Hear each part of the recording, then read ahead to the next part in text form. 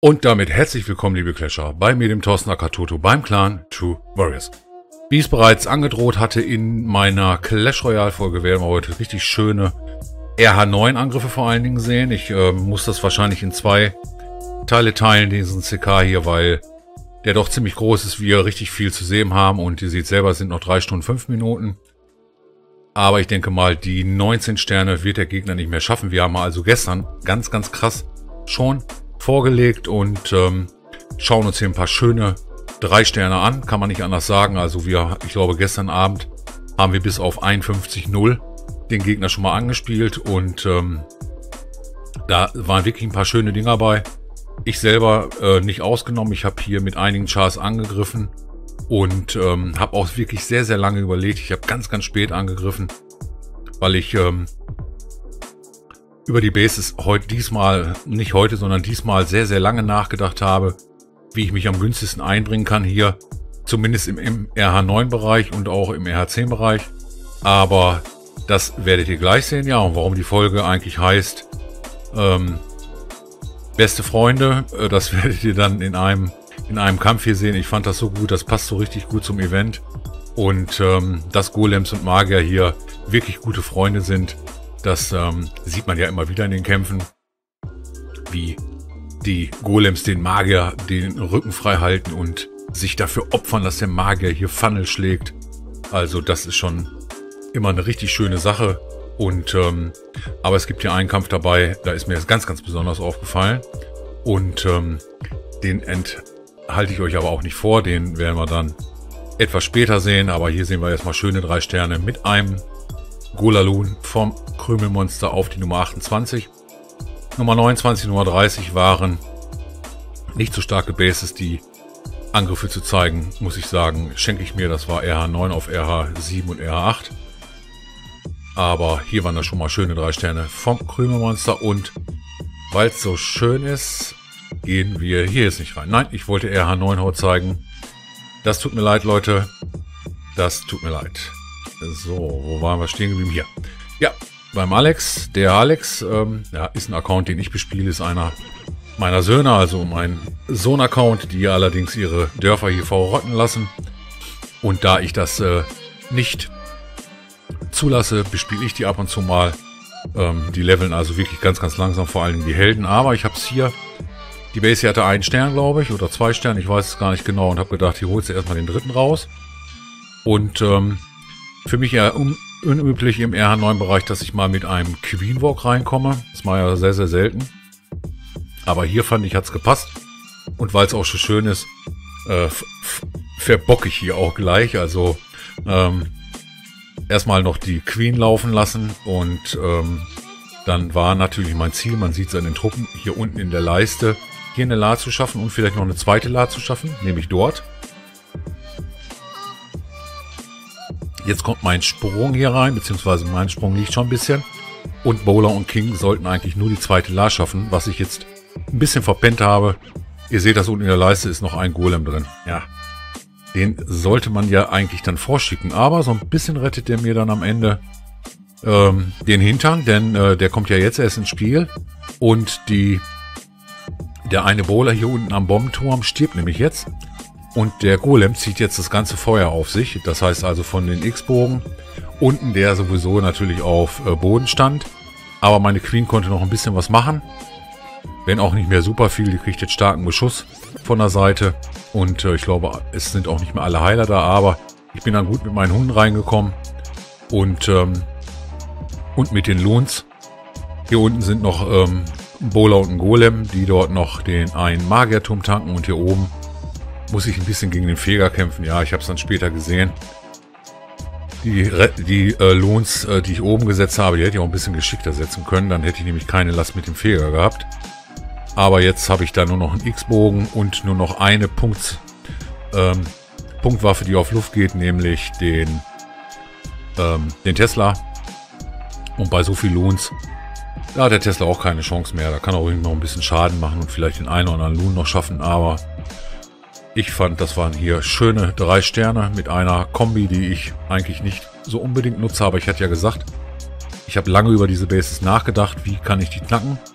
Und äh, ja, das war mal ein Weg. Also mit einem Queenwalk und einem anschließenden ähm, Laloon schafft man dann auch eine RH9 Base. Also 22 auf 25, absolut in Ordnung. Und ähm, das ist allerdings, das ist leider RH10. Mit dem Donnerbengel habe ich auch angegriffen. Hier habe ich mich auch zu einem Golaloon hinreißen lassen. Hier war auch schon etwas drauf. Strategie war hier eigentlich, ja, natürlich diese beiden Lars hier zu schaffen und den Feger und die Queen. Das ist mir auch gerade so gelungen, weil die Golems liefen eigentlich nicht so, wie ich das wollte, denn diese doofen Lager hier, die haben mich alle ein bisschen gestört. Denn in der Zeit, wo die natürlich weggemacht werden, bekommen meine Golems natürlich richtig Feuer. Und ähm, deswegen habe ich so ein kleines bisschen Cleanup gemacht am Anfang, damit ich vor allen Dingen auch nicht die Ecken vergesse und die böse Bauhütte hier unten. Komme dann jetzt mit den Golems rein. Lass die erstmal ganz gemütlich laufen. So viel, ja, so viel Feuer kriegen sie noch nicht. Der Golem natürlich da oben kriegt richtig Feuer von der Queen. Und ähm, hat jetzt auch noch Drachen auf sich. Ähm, die beiden und, und den Babydrachen auf sich. Die beiden musste ich jetzt erstmal ein bisschen giften und ja, der hat jetzt nicht wirklich gehalten. Komme am Magierturm mit meinen Mauerbrechen. Da habe ich auch gedacht, oh, hoffentlich dreht er sich nicht. Weil dann wäre ich hier noch in die Base gekommen, weil ich habe hab immer noch einen Sprung dabei. Da, da verzichte ich nicht drauf. Also nach wie vor bin ich ja der, der Erdbebenhasser hier, wenn es so um Bodenangriffe geht, mir die Base hier frei zu machen. Und äh, komme jetzt aber schön schon mit meinen Hunden. Ich setze erst die Loons und danach die Hunde. Beide Hunde gleichzeitig erstmal auf eine La, dass ähm, die schön durchgetankt werden und ähm, dass dann auch beide Hunde schön durch die Base fliegen.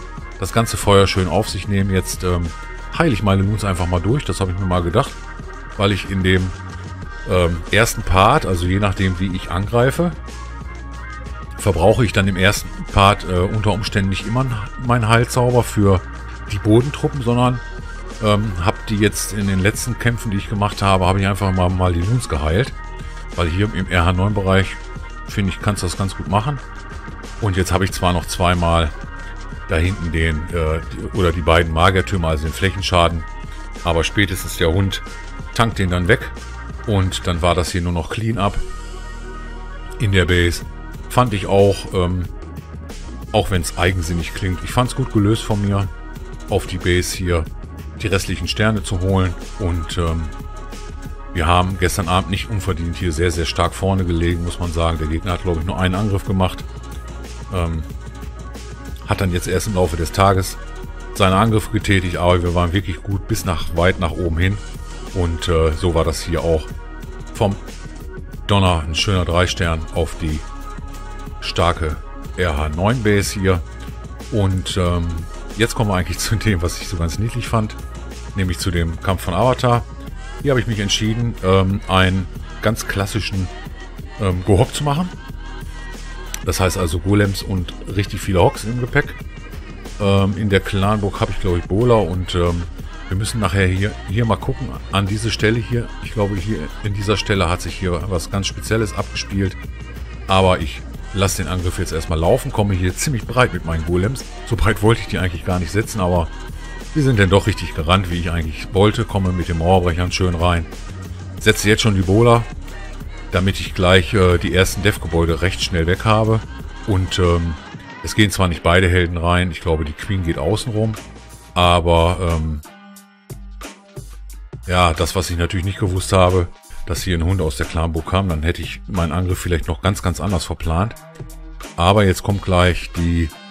Jetzt, jetzt kommt, also ich komme hier unten ja jetzt schon mit den Hocks und ich fahre mal ein bisschen größer rein. Der Golem hier hängt jetzt gleich hier an der Mauer und der Magier hier ist eigentlich auf dem Weg, diese Lager hier zu machen. Ja, jetzt gucken wir mal ein bisschen genauer hin. Und äh, was macht der Magier? Der Magier fängt an, das Lager zu machen geht jetzt zu dem Golem und macht die Skellys weg, die den Golem so stören. Macht jetzt noch das Lager. Also der stirbt sogar nicht. Äh, nebenbei könnt ihr übrigens die Hox noch am Hüppeln sehen. Und setzt danach erst seinen Weg fort. Ich meine, er hätte jetzt auch aufs Rathaus gehen können, aber er läuft zurück und setzt seinen Weg fort. Also das fand ich richtig, richtig echte Freundschaft. Ja. Und ähm, ich halte mein Golem den Rücken hier frei. Äh, fand ich richtig gut und äh, gut, dass der da unten weiter rumgegangen ist und macht den Cleanup, denn die Hoxie im oberen Bereich haben alles andere gemacht. Die Queen hat sich denn doch noch des ähm, Lavahunds angenommen und die paar Puppies, die stören jetzt nicht wirklich. Die Queen ist da gleich durch und macht dort die letzten beiden Puppies weg. Meine Hox sind schon im Cleanup. Am Ende habe ich einen Babydrachen gewählt, der hier so ein bisschen noch den äh, Magierturm abgelenkt hat. Sonst hätten da nicht alle Hox überlebt. Und so fand ich das hier ein wirklich schönen Dreisterner mit ähm, echter Freundschaft hier zwischen Magier und Golem. Also das hat mich, ich habe das auch erst beim zweiten Mal äh, gucken ähm, realisiert, äh, was da unten genau in dieser Ecke war und habe gedacht, Mensch, das war richtig krass. Also echt netter Magier. Ähm, ah, jetzt stirbt, ah nee, der Hund stirbt immer noch nicht. Okay, der, äh, der Hund, Entschuldigung, der Babydrachen. Ja, und so war das hier, fand ich auch mal wieder ein schöner Dreisterner. Vom AFA zwei Plätze tiefer. Das war jetzt gar nicht mal so tief. Und ähm, schöner Dreier hier im RH9-Bereich. Wir schauen uns hier den Lupe einmal an. Lupe, ja, ist ein Zehner. Okay, ihr habt mich überredet. Lupe ist ein Zehner. Lupe ist ein Zehner. Lupe ist ein Zehner. Ah ja, okay. Ähm, den hätte ich euch jetzt auch zeigen können. Fife. Ja, da müsste ich mich jetzt zu hinreißen lassen, dass ich diese Angriffe hier zeige. Aber ich zeige sie einfach. Ich zeige sie einfach. Wir machen mal ein Replay hier, wie der Flash Loop das äh, geregelt hat. Lupe ist ja ein RH9,5. Heißt das so? 9,5? Ja, 9,5. Und ähm, hat natürlich die Bowler, hat sich schön auf 2 gelevelt. Kommt hier schön in die Base rein. Und ähm, giftet hier jetzt die Clan-Burg-Truppen, beziehungsweise äh, war das gerade ein Fries? Ich glaube, das war ein Fries, ne? Er hat die kurz eingefriest, aber Queen und Bowler gehen hier schön mittig durch. Also auch das hier ist immer wieder eine Taktik für RH10 auf ein RH9. Auf eine RH9-Base, die ziemlich stark ausgebaut war, fand ich. alle Bases waren eigentlich vom Gegner gut, fand ich diesmal. Also da war jetzt keine bei, wo ich sagen könnte, komm, den hau ich mal eben weg.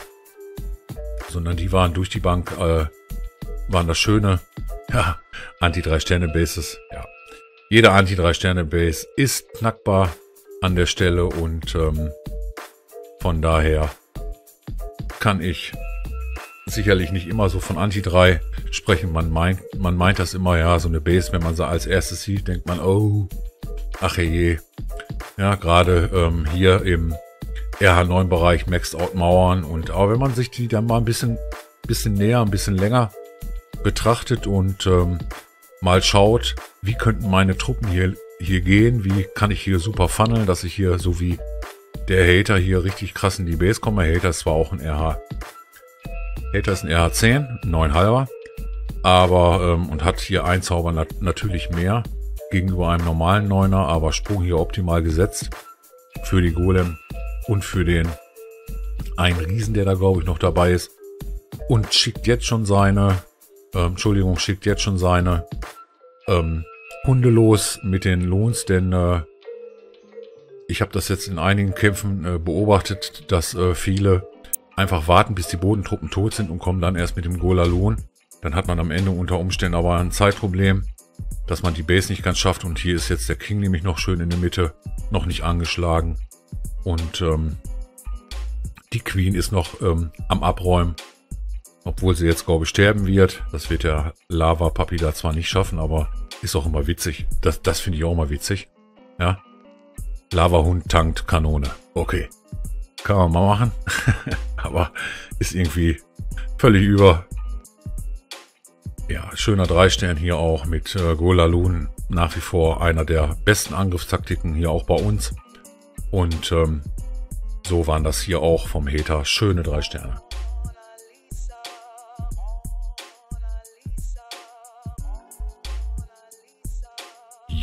Okay. So, last but not least. Der Thorsten. Der Thorsten hat auch angegriffen.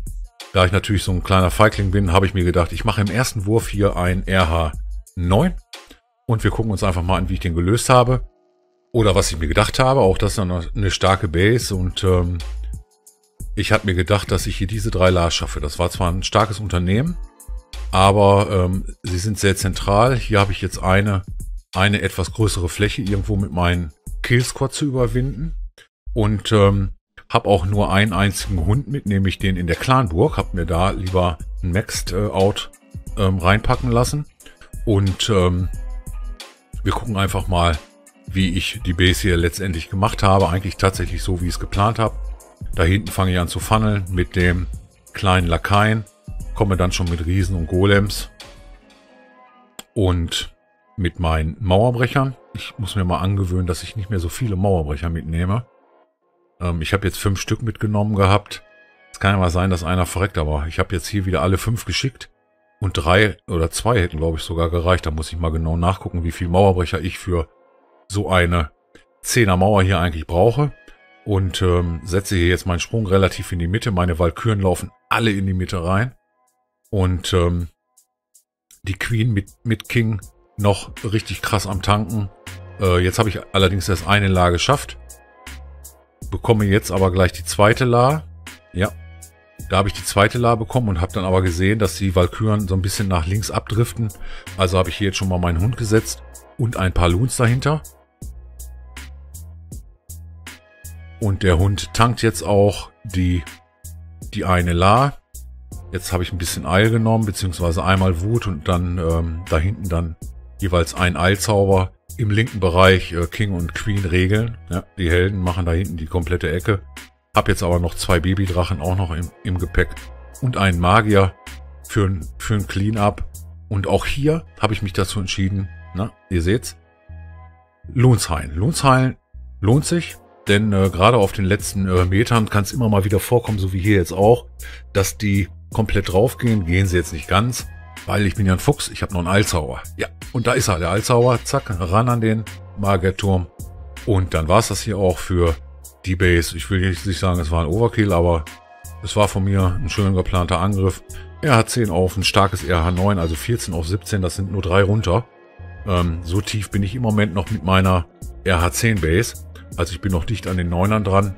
Und ähm, ah, ich fand, war ein gelungenes Stück ähm, Arbeit hier. Und äh, so habe ich hier mit meinen Chars, mit allen meinen Chars, den ich heute angegriffen habe, drei Sterne geholt. Im RH8-Bereich habe ich das auch gemacht mit dem Chief in einem anderen Clan. Ähm, aber wie gesagt, ich denke, hier brennt nichts mehr an.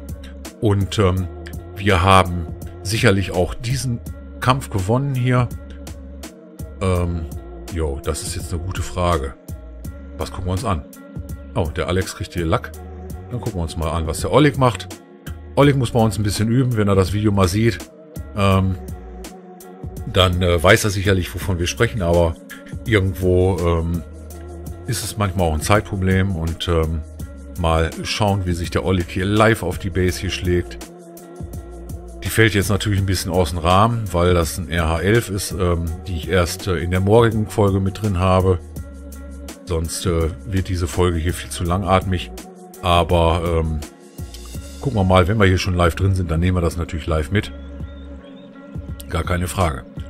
Er kommt hier noch ganz gut rein. Giftet jetzt, äh, hat er ein Gift dabei, ja, ein Gift hat er dabei gehabt. Aber muss hier jetzt auch schon seine, seinen Warden zünden, weil er kriegt den Drachen da nicht richtig weg. Und in der ganzen Zeit hat jetzt der eine Inferno hier eigentlich alles weggebraten. Kann man nicht anders sagen. Und äh, jetzt hat er auch nicht mehr ganz so viele Truppen. Queen ist noch da, aber stirbt jetzt. Hat gerade zu den Stern geholt. Ich denke mal, das Rathaus wird er aber noch bekommen.